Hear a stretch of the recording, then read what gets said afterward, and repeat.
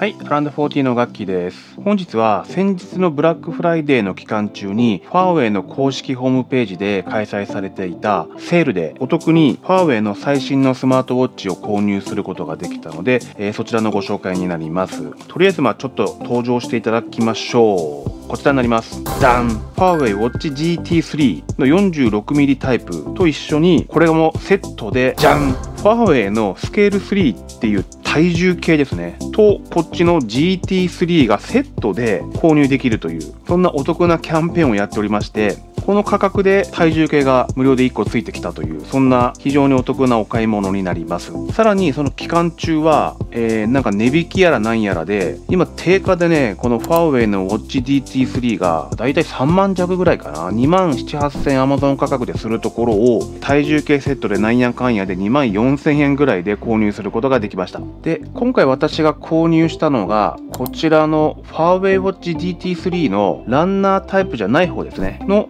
46mm タイプを今回購入しました。で一応こっちのランナータイプと GT3 等で、え2パターンありましてでこの他にもそれぞれにスポーツモデルとあとクラシックモデルと2パターンあるみたいでございます。まあなんやかんやで開封していきましょう。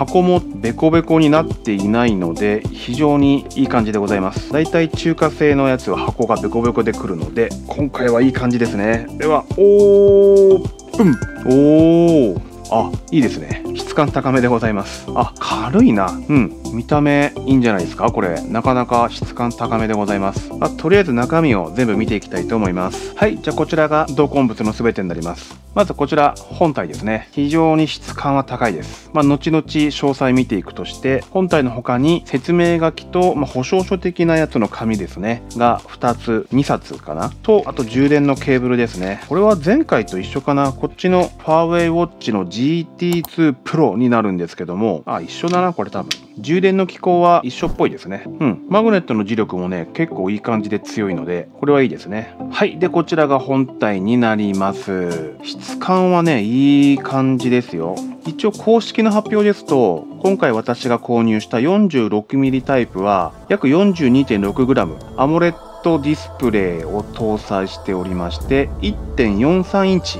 のディスプレイですので結構大きめですね。こっちの GT2 Pro と比較しても、まあ、ほぼほぼ一緒ですね。そしてこのガラスというかこの筐体ですね。は 3D 曲面ガラスを採用しているようでございまして画面の端から端まで明るく高精細なディスプレイを採用しているということでございます。ちょっと電源を入れてみますかね。入りました。ファーウェイ言語を選ぶところからスタートですね、えー日本語。で私はもうアプリをダウンロードしてあるのでファーウェイのアプリを開いてデバイス。デバイスの追加スマートウォッチファーウェイウォッチシリーズ。OK はいということでスマホとのペアリングが完了いたしました。非常に画面は鮮やかですね。でやっぱりこの 3D 曲面ガラスを採用しているということらしくて画面の端から端までこう横から覗いても明るく高精細なディスプレイと歌っているだけあって見やすいですね画面が。非常に明るいです、まあ側面もこれステンレス製なのかな外しちゃおうかな。がっちりとした印象の作りになっております。これそうですね。側面はプラスチックじゃないよな多分。だと思いますけどね。結構この画面は頑丈に作られていてもこの側面ですよね。がやわいとね。こっちあの前回ご紹介したアメイズフィットのスマートウォッチなんですけどここね分かりますかね？ちょっとここ。傷ついちゃってるんですよね。これこれ。ここねぶつけた時にちょっとへこんだというか傷ついちゃって画面は頑丈でも側面がやわいとこうなってしまうのでこういう感じでがっちりとした作りになっていると非常に安心感はあるかなというふうに思います。で側面のこのネジネジですね。クラウンを使って画面の操作も可能になっておりますのでここら辺はね Apple Watch を意識してるのかなという感じは否めない気がいたします。まあ商品スペックとしては睡眠モニタリングストレスモニタリング血中酸素レベル常時測定心拍数モニタリング体表面温度常時測定月経周期のトラッキングということでスペック的には非常に盛りだくさんになっておりますね。で搭載しているメモリは 32MB とちょっとここは少し少なめな印象はありますけども GPS は搭載しておりますししかも5サテライトシステムを採用していますのでここら辺は優秀ですね。でまあワークアウトもですねかなり豊富に搭載しているようでございますので100以上あるのかな確か。なので逆にないやつを探す方が難しいぐらいのワークアウト種類かなというふうに思います。であとはね気圧計とかもあるみたいですね。そうですね。気圧計であったりこういった形で方位磁石も搭載していたり、まあ、機能的にはかなり盛りだくさんなスペックになっております。はい実際に腕につけるとこんな感じになっておりますね。あいいんじゃないですかね。なんか全然思ったほど重くないような気がしますね。42.6g なのでちょっと重さを感じるかなと思ったんですけど、まあ、そんな違和感を感じることもなく非常につけ心地はいい感じです。でウォッチフェイスもまあまあ潤沢にあるのかなという気はしますね。はいということでこんな感じで文字盤もですね好きなやつをダウンロードすればこっちにリンクするような感じになっております。触って動かしてる感じもね結構ヌルヌルですね。いい感じです。もっさりりするとかそんな印象は全くないですね。まあ、こっちのねァーウェイウォッチ GT2 Pro はね、ちょっともっさり感があったので、それがね、全然今回、ほら、もうサクサクなので、そこら辺はすごく進化してるなという風に感じますね。画面もすごい明るいですね、なんかやっぱり見やすい。で、ここら辺のほら、アニメーションっていうんですかね、このハートのアニメーション。ここら辺もなんかいいですよね。こういう方が見てて面白いですよね。まあ、こんな感じで、えー、実際にちょっと今から使っていってみたいと思います。それではまた後ほど。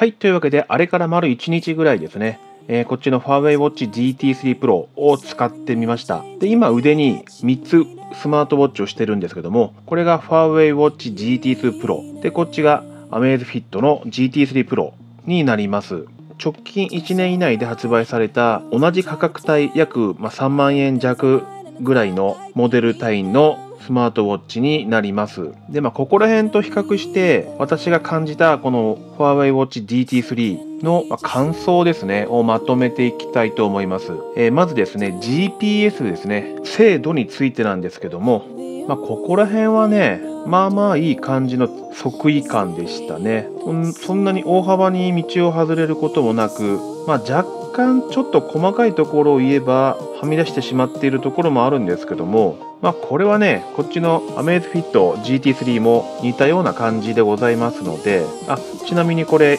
両方腕時計をしてランニングをしました。まあ、ここら辺も似たり寄ったりですかね。一応こっちのアメイズフィット GT3 も5サテライトシステムを採用しておりますので、この GPS の即位に関する差はそんなになかったかなという、そんな印象でございます。あと、バッテリー持ちに関しては、えー、現在62%ですね。まあ、使い始めのバッテリーが満タンじゃなかったので、確かね、84とか3%ぐらいだったんですね。なので、まあ大体1日フルに、今今回結構いじくり倒して、なおかつワークアウトも使ってのこのバッテリーの減り具合なので、まあ大体同じようにフルにいじくり倒して使いまくったとしても、5日間今日は持つかなというそんな印象です。まあこれに関してはこっちの Amazfit GT3 Pro も同じようなバッテリーの持ち具合なので、まあここら辺もね、こうつけがたい、そんなバッテリー持ちかなという印象でございます。でこっからはねちょっと気になった点がいくつかあるのでそちらを先に言っていきたいと思うんですけども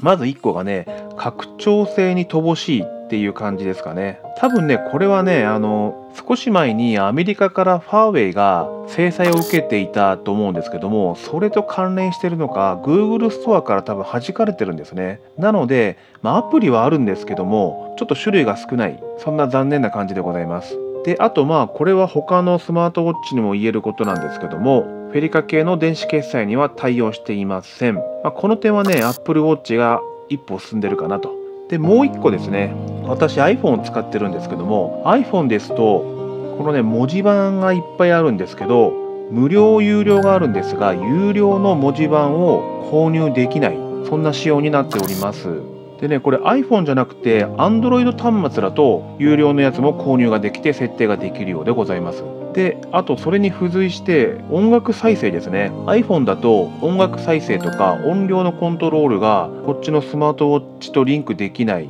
感じでした。まあ、私の設定が間違っていたらちょっとご指摘をいただきたいと思うんですけどもこれもね Android 端末だと普通にリンクができて音楽操作もできるようでございますでさらにこれも iPhone だけらしいんですけど通知の詳細設定ですね。iPhone だとこういう感じで1、2、3、4、5、6個かな。ここら辺の通知をこっちのスマートウォッチに出すか出さないかが設定できるんですけど Android 端末だともっと詳細に設定ができるみたいでございます。なので GT3 とスマホをフルにリンクして活用したいなという方は、まあ、Android 端末を利用した方が使い勝手はいいかなと思います。でここからはちょっと細かい点になるんですけどもこれね常時点灯に設定した時にこの持ち上げが反応しないんですよね。これは同じシリーズでもあるファーウェイウォッチ GT2 Pro にも言えることなんですけども常時点灯にした場合はこう指でタッチするか横のボタンを押し込む。そうすることで画面がま詳細な方の自分で設定した画面に切り替わるんですけどもこれはねこっちの Amazfit の方が詳細な設定ができますね。このディスプレイで表示を常にオンにしても時間設定ができたりするんですよね。なのでここら辺はねファーウェイウォッチ GT3 よりも Amazfit GT3 Pro の方が使い勝手がいいかなと。いうそんな感じです、まあ、ここら辺は結構細かい部分にはなるんですけど日常頻繁に使うスマートウォッチとしては、まあ、結構重要な使い勝手がいい悪いを判断する部類になるかなと思うので、まあ、ちょっと指摘をさせていただきました。気になる点はもうそれぐらいであとはね非常に素晴らしいスペックになっております、ま画面のヌルヌル具合アニメーションとかですねあと画面の明るさですね。この視認性が非常に高い。感じそしてバッテリー持ちさらに皮膚温度の測定もできますのでこれは素晴らしいなというふうに思います、まあ、さらに5サテライトシステムも搭載してワークアウトの種類も100種類以上あると。でさらに今回無料のセットでついてきた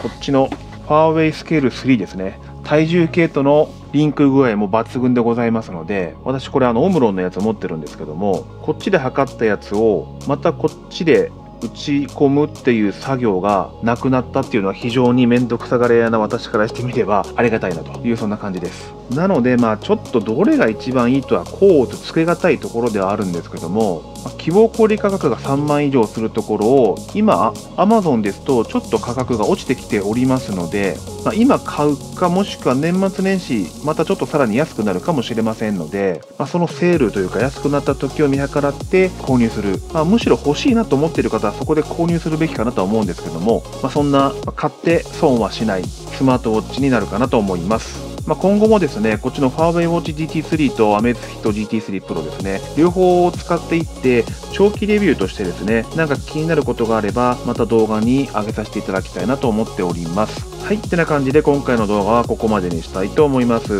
えー、購入を考えている方の参考になれば幸いでございます。またこのチャンネルではこういったスマートウォッチや PC 周辺ガジェット関係気になったものを実際に購入して使ってみる動画をお送りしておりますので気になった方はぜひチャンネル登録をして応援していただけると非常にありがたく思います。本日も最後までご視聴いただきありがとうございました。また次回の動画まで。じゃあね、バイバーイ。